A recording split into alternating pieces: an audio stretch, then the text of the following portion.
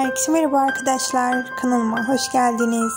Geçtiğimiz günlerde Hazal Kaya Pera Palas'ta Gece Yarısı dizisinin ikinci sezonunun galasında katılmıştı. Oyuncunun bu galadan eşi Ali Atay'la yepyeni görüntüsü geldi. Bu görüntü izleyicileri tarafından çok beğenildi. Biz de bu görüntüyü sizlerle paylaşıyoruz. İyi seyirler.